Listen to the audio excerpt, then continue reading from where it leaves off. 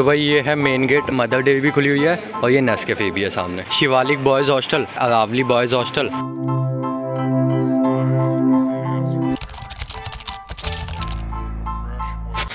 so hello everyone नमस्ते and welcome to our channel so आज की वीडियो में हम कैंपस टूर करने वाले हैं U S I C T का, ठीक है?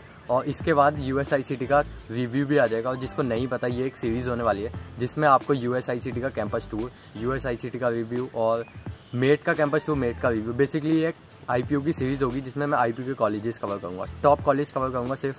बाकी आज कैंपस टू कवर करते हैं कि पूरी सीरीज़ देखना अगर अच्छी लगे तो दोस्तों को शेयर कर देना. बाकी अभी स्टार्ट करते हैं.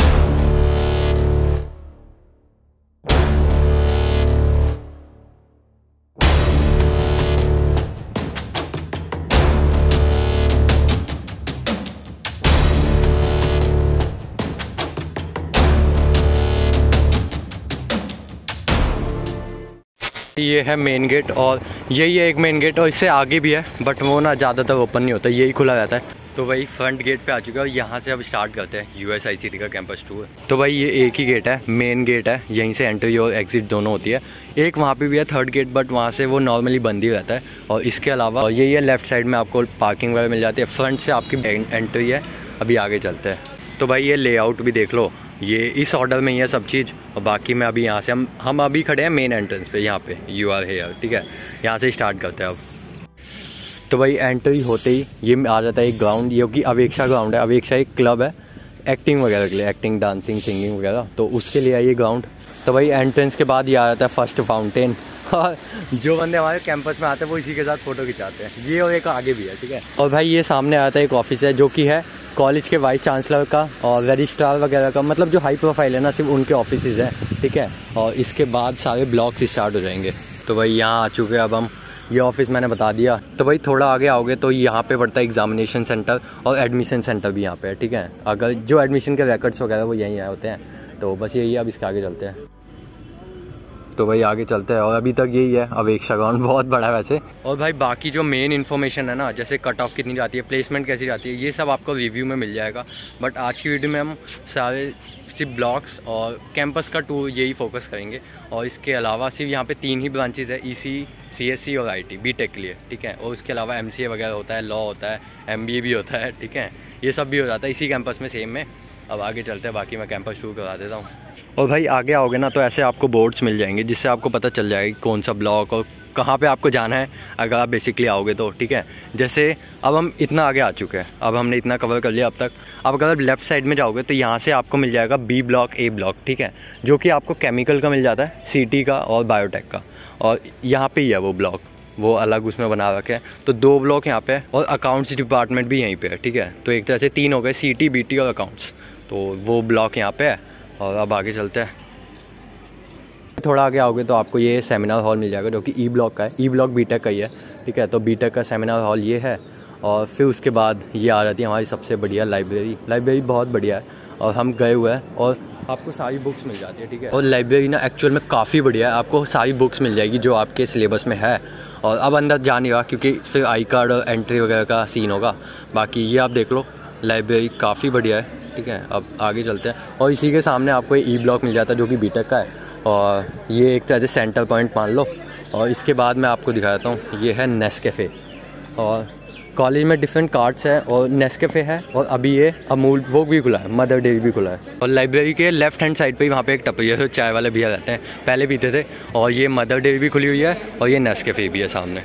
तो यहाँ आप आ सकते हो। तो भाई मदर डेयरी वगैरह ये था और उसके सामने आपको सी ब्लॉक मिल जाता है। वो है डी ब्लॉक वो है ई ब्लॉक ठीक है एक तरह से समझ लो, ये हम सेंटर पॉइंट में है।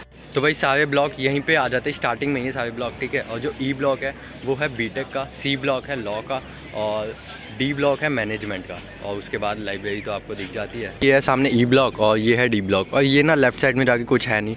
सिर्फ़ स्टूडेंट पार्किंग है, और बैडमिंटन कोर्ट है, और न्यू ऑडिटोरियम भी सामने है, ठीक है? वो मैंने एक ब्लॉग में कवर किया था, और इसके आगे जाएँगे तो बस दो सेमिनार हॉल मिल जाएँगे, वो है वो आपको दिखाता हूँ फिर उसके एंड में कैंटीन और हॉस्टल की बिल्डिंग्स ये डी ब्लॉक था पीछे, ठीक है? और डी ब्लॉक के साथ में ही उसका है डी ब्लॉक का सेमिनार हॉल और ऐसे ही उसके सामने है सी ब्लॉक का सेमिनार हॉल ठीक है? अब आगे दिखाता हूँ आपको। तो भाई ये एक न्यू शॉप खुली है शेक की शॉप है, और उसके सामने फ़ोटोकॉपी की भी शॉप है। और बस, अब आपको कैंटीन दिखाता हूँ। और कैंटीन में भीड़ कम हुई तो आपको अंदर से दिखा दूँगा। नहीं तो बाहर से ही देख लेना। तो ये रहा कैंटीन अंदर जाए। तो भाई ये कैंटीन अंदर से कुछ ऐसा है। और इसके अलावा एक और फ्लोर है ऊपर का। बाकी सामने काउंटर है, यहाँ से अगर आपको ज़्यादा खास है नहीं यहाँ का खाना बट काम चला हुआ है। कैंटीन में केले मिलने लग गए, बहुत अच्छी ग्रोथ है। और बाकी आप मेन्यू देख लो। तो भाई कैंटीन से आगे आके ये आ जाते हैं हॉस्टल की बिल्डिंग्स और ये साइड में है बॉयज़ हॉस्टल की बिल्डिंग्स और ये है गर्ल्स हॉस्टल।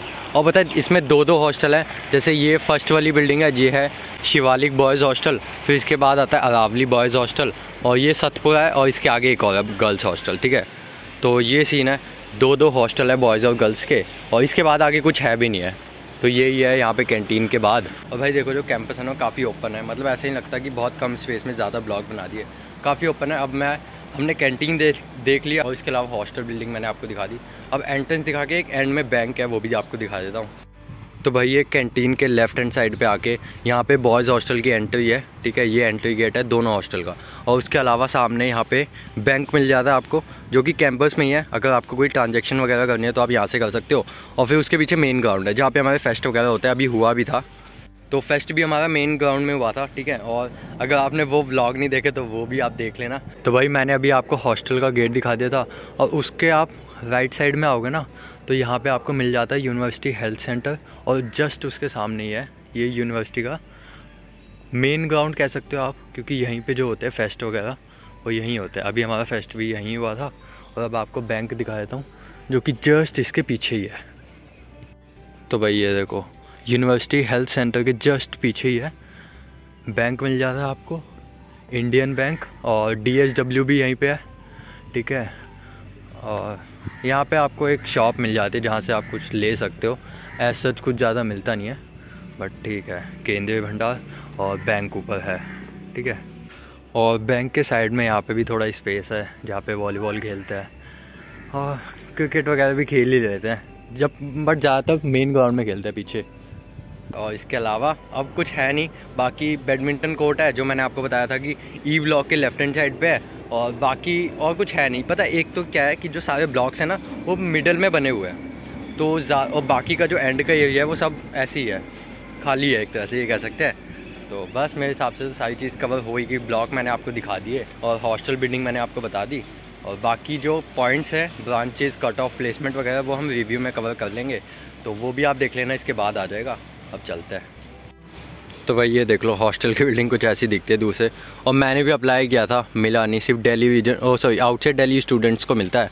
तो बस यही है, सामने गर्ल्स हॉस्टल ये बॉयज़ हॉस्टल बस। तो भाई मेरे अकॉर्डिंग अब तक सब चीज़ कवर हो चुकी है और बाकी वीडियो को भी ख़त्म कर देते हैं, ठीक है? और अगर वीडियो अच्छी लगी तो वीडियो पर लाइक कर देना चैनल पर नए हो तो सब्सक्राइब कर देना, मिलता है आपसे नेक्स्ट वीडियो में, जो कि होगा यू का रिव्यू ठीक है?